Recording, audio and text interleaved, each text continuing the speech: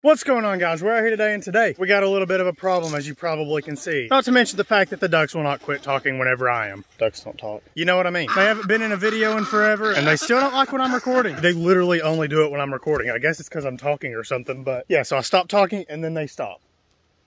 So we do have a little bit of a problem on our hands. So uh, here's where the scene of the crime happened. I'm assuming, I actually don't know. I guess technically it was in there. But let me just start from the beginning and walk you through the whole thing. About a month or so ago now, actually no, it's been about two months. My elk season was over. So I went ahead, and got the trail cameras I was using for that, and I brought them up here. It wasn't there though. It was on this tree right here. And you know, I just let it run. Didn't really pay much attention to it. I didn't really have a reason for it being here except to just watch stuff. So there was one day I found a dead chicken in the coop and it was one of these smaller chickens here. I only have two of those tops left left from the ones I bought last spring. I just found it inside the coop. Didn't really think much of it because if you remember, I had a few of those that kept dying. So I thought maybe it was just a uh, not a very healthy bird, I guess you could say. So yeah, I was kind of iffy about it, but it wasn't a huge deal. Not the fact that it died, that sucked, but it actually dying wasn't a huge deal. So yeah, I just left the camera here. I think I skimmed through the pictures that it sent me. Didn't really pay much attention. So that explains why I didn't catch the problem ahead of time. Yeah, eat that cornbread. But then we had another incident. So two days ago, actually no, it was yesterday. What the heck? Okay, never mind. So two days ago, I found another dead chicken in the same exact spot, which uh, that part's not really significant, I don't guess, but I found it in the same spot. It was actually one of my Rhode Island Reds, and that's what kind of threw me off. These two birds, I actually had three, but you know, one's dead now. They are never sick. Like there's nothing wrong with them except for whichever one broke its leg and I had to like put it in a cage by itself. That was different though. That was the rooster's fault. But you know, I thought maybe, maybe it was just an old bird. And the weird thing about it, I don't have the actual chicken with me now. We'll get to that in a second. But the weird thing about it was that it wasn't just dead there. So uh, this is about to get graphic. I'll go ahead and I'm not going to show you, but I'm going to explain what happened to it. Okay, so its whole backside was eaten off, and so were its internal organs. Yeah, told you, it's graphic. You know, that, that kind of threw me off there. I was like, no, something's attacking this. Or there was one other explanation that might make sense, and that was that it just died from natural causes, or even another chicken killed it. Because, you know, it is an old bird. It's a few years old now. I wouldn't be surprised if it just died for no reason. And then it being eat up and stuff, that could have been like mice, rats, even other chickens. That's kind of weird, but they do that. To the extreme that it was like, you know, chewed up. I didn't see a chicken doing that, and it would be very hard for mice or rats to do it. But I gave it the benefit of the doubt. So last night, I moved that camera down here, and I put the dead chicken right there.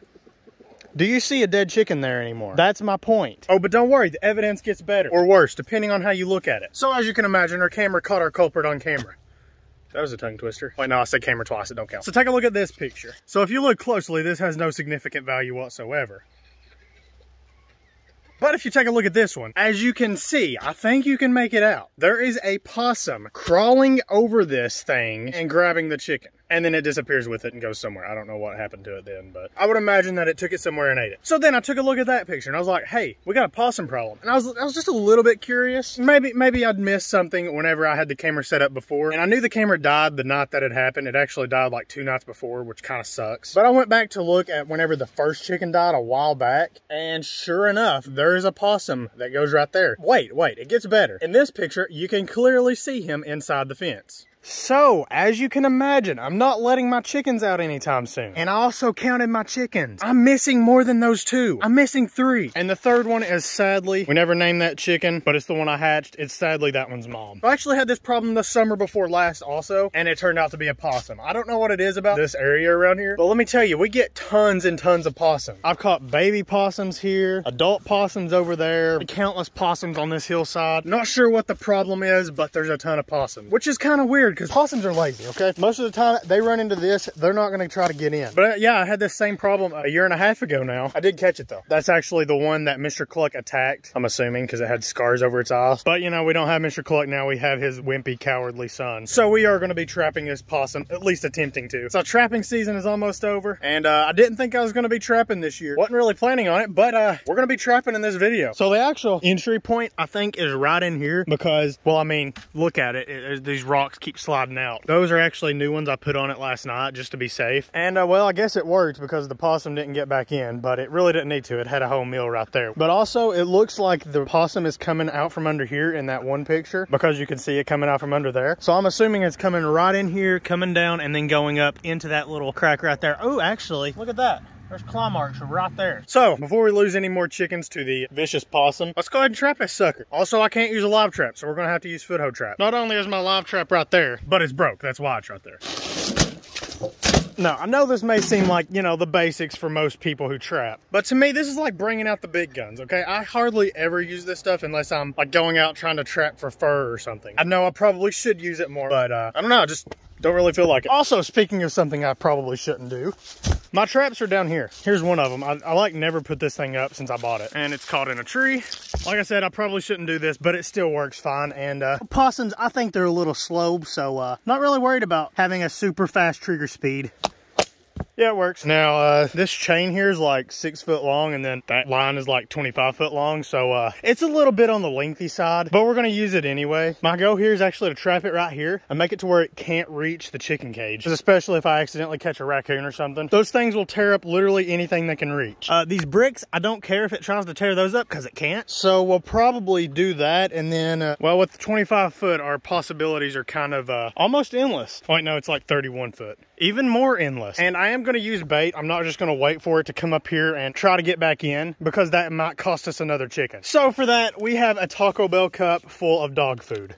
And I actually do have this corn here and even layer feed. I usually just do some corn, throw that sucker on there. And like I say, corn's a lot slower than a chicken.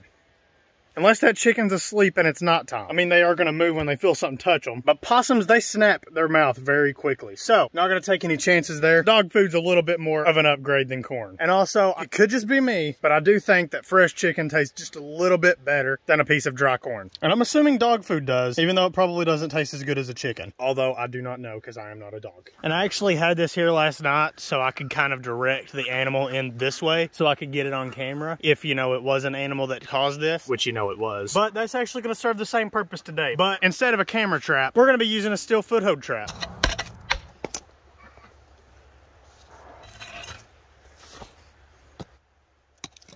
Dang it.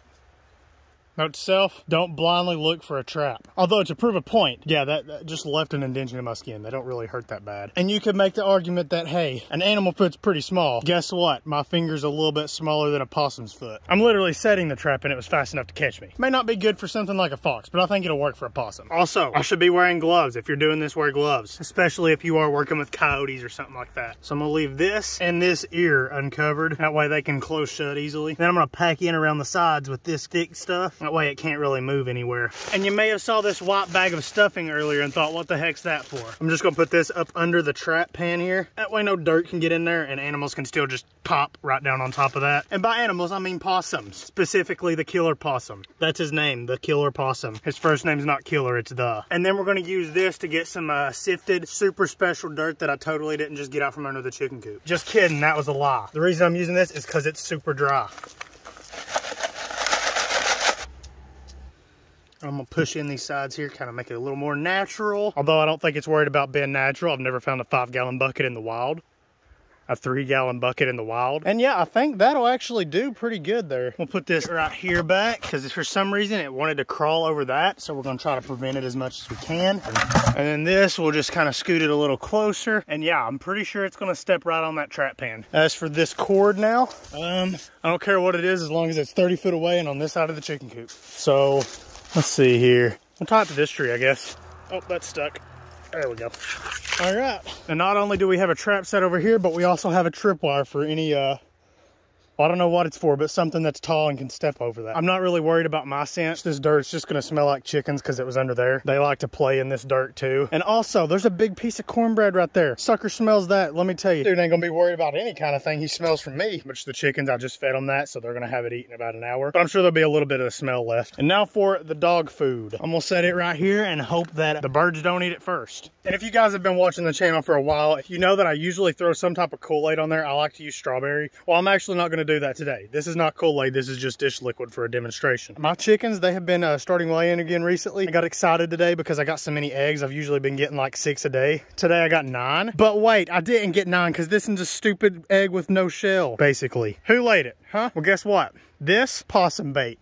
Yeah, take that. So, my voice just got louder and I made a loud noise. You know what that means? I'm to see you guys tomorrow. And we're back. We're out here. It is, in fact, the next day. And uh, we're almost there, actually. I can see the wire from here, obviously. And uh, honestly, right now, it doesn't look great. I think if we caught something, it would probably try every way it could to get out. And that would mean also going over to that. I do think there was something here last night, which we can check the camera in a minute and see. So that is technically a wireless camera, but I don't buy the subscription to keep it here because I can, you know, literally come up here every single day and check it. And I have to come up here every single day anyway, so it's pointless to buy the subscription for that. But it does still tell me whenever there's a picture taken, it'll say like last, uh, Uh, last interaction or something like that with the camera. And around, I think it was like two o'clock last night, I kept checking it. And sure enough, every time I would refresh it, there would be a new picture. So pretty good chance that we had something by last night. I could just, you know, quit talking about it and just check and see. I'm literally 30 feet from it. So let's just do that. Yep, here it is. Don't see nothing. Oh, ooh, guys, I see it. Oh yeah, we caught him. There we go. That's our chicken killer right there. Heck yeah. That's what you get when you eat my animals, buddy. You guys, uh, you're probably pretty happy right about now, but you probably don't even know what's over here. But if you did and you knew that I caught it, you would be happy. You can thank me later. Dude, come on. I give you all of this space to roam so you're not bored while you're sitting here. And you just go right there and stay. Oh yeah, he got into this wire here. There's some wire there. He got tangled up around his chain. And also he probably couldn't climb up this anyway because he's got a trap on his foot. But yeah, guys, it looks like we caught our chicken killer. That is awesome. Heck yeah. And that's a wrap for trapping season. Just kidding, except it actually probably is. This wasn't even planned. I mean, I'm definitely gonna kill him because, no, he's a chicken killer. This guy I know has killed at least two and probably more likely three. Like I said, that one's mom just disappeared and I never found her. And she was the smallest chicken, so it was easy for it to drag off, I'm sure. Before we do anything with him, I actually do wanna look at the camera, kind of for no reason at all. So let's take a look at it. Okay, so this is when I was setting the trap, I'm assuming Ooh, okay, there he is. Oh, and we've already caught him. Wow, that was quick. Now don't let the camera trick you. This is not a giant rat. It's just a possum, which is basically a giant rat. Ooh, 18 degrees. Dang, I didn't know it was that cold. And yeah, as you could see, no more possums come back because we kind of caught it. So now that we do know that it was a possum, honestly guys, I'm kind of thinking, uh, catch and cook maybe? You know, I kind of have a dumb one in probably at least a year now. I think the last one I did was a tree. So uh, we need some meat. And also, I just kind of want to prove a point to all these predators out here. You eat my chickens, I eat you. And in a way, this is almost like a food chain trapping challenge. Because I mean, we kind of did use an egg here for bait. And then we also used that dead chicken as bait the day before. And kind of them too. Like that, he wouldn't even be coming here if they weren't here. So they're kind of bait also. So yeah, food chain trapping challenge. He eats the chicken. I eat him. That's a short food chain. Unless something eats me. Let's hope not. I don't know though. These raccoons around here are pretty weird. But yeah, in all seriousness, I don't want to just kill him and leave him somewhere. Or... Okay. Yeah, yeah, I hear you. I'm telling you, it's only when I'm talking. They're worse than Mr. Cluck was. And now that I think about it, he actually ain't that bad anymore. He hasn't attacked me in a while either. Yeah, Mr. Cluck, he would have just tried to take my leg off. So I guess that is one good thing about him is he don't attack me, but apparently he don't attack possums either. But like I was saying, before I got interrupted by a water chicken, I can't just go release him somewhere. He'll eat someone else's chickens. So I pretty much have to kill him. And I don't just want to like, you know, bury him or something. I, I want to put him to some kind of use, you know? So uh, yeah, we're gonna, we're gonna do a possum catch and cook. Now I have actually done one before on the channel. It has been probably close to two years now. So, you know, I kind of want to do one again, an updated version. So I'm gonna go ahead and take care of this guy. And I know I already kind of said it, this video is going to be graphic. But yeah, if you made it this far, I just want to warn you again. It's going to get even more graphic, okay?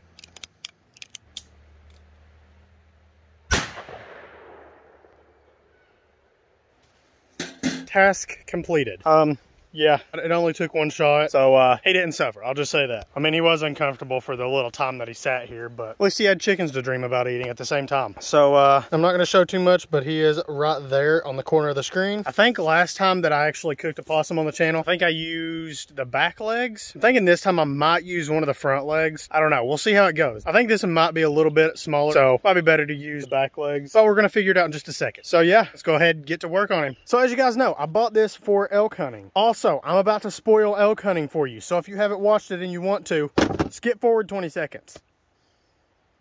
So yeah, as you may know, I didn't kill an elk. So I said we would use this for like a deer or something, but also I didn't kill a deer. In fact, there wasn't even a deer hunting video. So uh, we're using this thing for a squirrel. This ain't a squirrel. We're using it for a possum. And of course, the chickens decide to start clucking right now. A single pair of gloves. This is literally meant for big game. This ain't for no squirrel. This thing, they give me one pair of gloves with it. Okay, so uh, kind of sucks, but it's just gloves, so it's not a big deal. At least I didn't like leave out a knife sharpener or something. And I think we'll just use this one and maybe this one, but we're gonna wait until we get it down to just plain meat, you know what I mean? So let's get to work. By the way, in case you might be wondering, this is a boning knife or something like that. So I think, yeah, I'm gonna just use the back legs. So pretty simple. I'm just gonna skin the back side of this possum and we'll be good to go. And I'm not gonna do the front part because this leg got caught in a trap and then I, you know, shot him through the chest. So front part's not even really usable. Yeah, I'm kind of doing this like a half, half skin squirrel. And I'm getting fur all over the meat.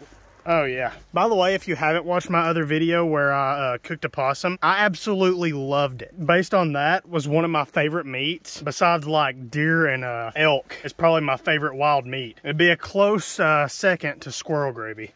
Cut into the leg here. Should be a joint right there. By the way, this is like the third possum I think I've ever skinned, so I'm not an expert. But yeah, it gets the job done. And there we go, there's our first leg. Same process for the other leg. So yeah, I'm just gonna leave this there and I'll get back to that in a second. Also, I did skin it like that because I'm not worried about the fur. It's possum. It's not like it's a raccoon or a fox or something. And if the idea of a uh, squirrel, this ain't a squirrel still. The idea of a possum leg grosses you out. It just think of it as a chicken leg. It's basically just a small chicken leg now. I got a chicken leg from a possum that ate a chicken. So basically this is still chicken. Kind of, but not really. So this, I washed it off. It is now drying. So what I'm actually gonna do, I'm gonna sprinkle the outside with some salt. Uh, I'm actually making a stew. So that much salt's not gonna hurt us right now. It's actually gonna, you know, incorporate into the soup or stew, whatever it's called. But I'm actually making the same exact stew that I made last time I cooked a squirrel. It's not a squirrel, Derek. It's a possum, not a squirrel. Maybe something inside me is just wanting it to be a squirrel, but I don't know why, because squirrels taste bad, especially if you cook them like this. You got to make them squirrel gravy and get you some biscuits with it. That's how you do it. But I'm kind of doing a remake of that stew. I think I remember all the stuff I put in it, which I could just watch the video. I know I put banana peppers. I think I put steak sauce, salt and pepper, maybe onions. I think that was it. But uh, we're kind of doing a little bit of a remake today, but we're not going to do exactly the same stuff. One of the reasons is because I didn't have all the stuff. And another reason is just because I kind of want to remake it and try to make it even better. So that's what we're doing. And we're actually gonna be using this charcoal grill right here. Yes, it has wheels. I like a challenge. And it's like two pounds. By the way, the handle is broken on this. It totally did not happen because I was trying to catch a chicken and fell into it. It actually didn't. I don't remember how it broke. And I don't remember the last time I cooked in this, unless you count a box of firecrackers from the 4th of July. Oh, whoa, that is awesome. That is awesome.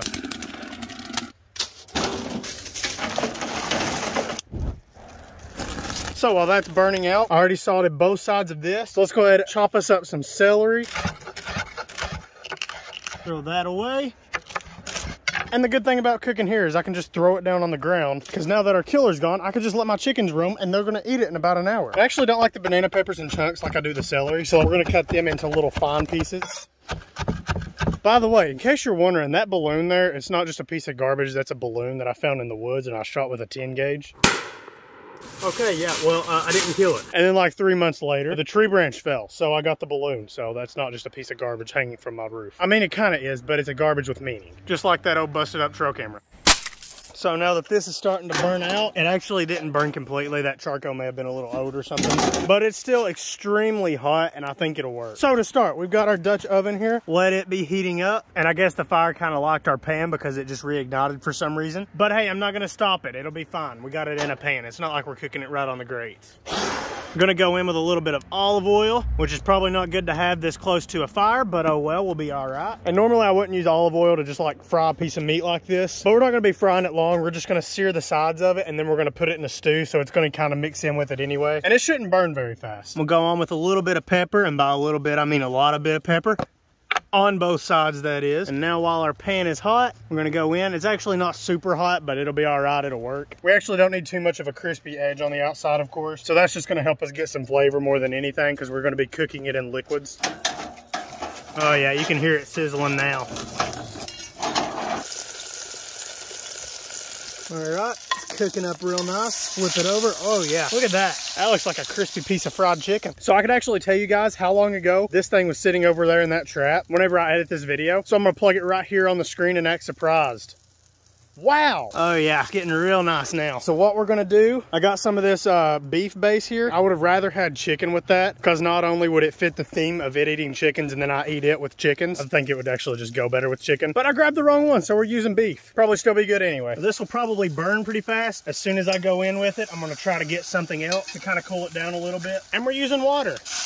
Yep, we don't have to worry about making a mess though because we're outside. Now I'm gonna go in with the banana peppers from earlier and now we're gonna watch the smoke tornado. Never mind, it disappeared. And now for some celery. Dang, that's some fire celery. All right, gonna go in with a lot more pepper because I just like pepper. Also, like I said, I'm kind of improvising this recipe, so uh, I don't know if it's gonna be good. If you're gonna make this for some reason and go out and try to get a possum, or if you're just gonna like do it with chicken or something. You might wanna wait till the end and make sure it's good. Got some rosemary in here. Pull it off the heat. It's getting a little bit too hot. Garlic powder. Whole cloves would have worked better. This is just more convenient. Same thing with the rosemary. And I think this really makes it taste the best. It's just pouring a ton of this stuff in here and we'll actually drop in a few of those whole ones with it. Ah, what the heck, we'll dump in the whole thing. And last time I used uh, steak sauce, which actually has tomato puree in it, I think. So we're gonna add some tomato to this also. And tomato and beef flavoring just goes good together. And of course I popped that wrong. So we're gonna have to use a knife. You ever seen someone cut a piece of metal with the back of a knife? Well, you have now. Totally wasn't already cut. So this is all I'm gonna add. So I know it seems like a lot, but I mean like salt-wise. Cause they packaged this with a little bit of salt in it anyway. And then the banana pepper juice has salt. And then we also, of course, salted the possum a little bit extra too. So yeah, we'll just leave it like that. And then we can always salt it at the end also. Stir it up a little bit. This is gonna be a little bit thicker, it seems like, than the last time we made it. But I think it'll work just fine. And now we close it up. Okay, I think we're good. If this will close, I don't think it, ow, that's hot. There we go, now it can breathe. So guys, I'll see you back here in a couple of minutes. And by a couple, I'll probably let it set for, I think last time I cooked it for 40 some minutes. So we're gonna do that again, just because it was super tender and I didn't die after I ate it. So uh, I think 40 minutes will be enough to cook anything out of it. And now we wait.